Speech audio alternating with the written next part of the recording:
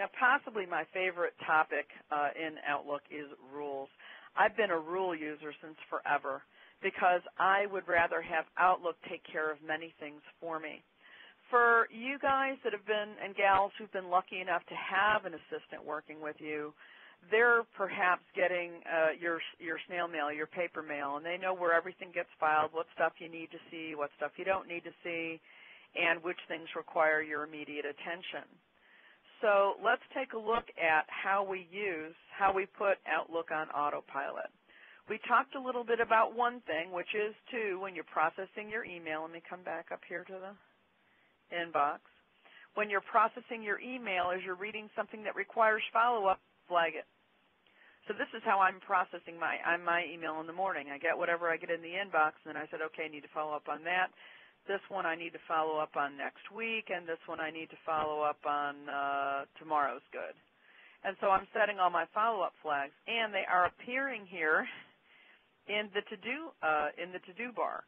Now, a lot of you, when you got 2007, didn't much care for this area, and so you were, uh, I need to get rid of it, and you found out that you could go to View, To-Do Bar, and turn it off. I'm going to suggest that you turn it back on, knowing that you can minimize it if you need to. But not only is it telling you what tasks you have, it's telling you what meetings you have upcoming. So really, when I open my email, this is where I focus, on the right-hand side of my screen. Because my rules are flagging email for follow-up. My calendar has my upcoming appointments. And that's where the most important information is. And then, of course, I go to my inbox and flag anything that's new that requires my attention. Here's a bonus. You can take an email and drag it right on top of a date on your to-do bar. Let's say on October 31st, I'm going to have a meeting about Twitter. And I'm just going to drop it there on the 31st, and it's going to create a new email. By the way, don't follow me on Twitter here. I have a different Twitter address, which is why they miss me. Um, but you'll see it actually carried the category.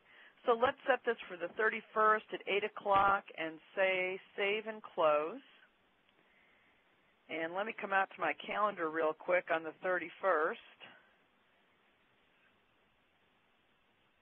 Look at my regular calendar here on the 31st.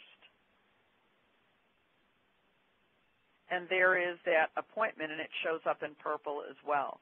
So when we're looking at my uh, my booking calendar, for example, and we'll look at it in the month view, the reason everything's showing up in different colors here is because that's how I've categorized it.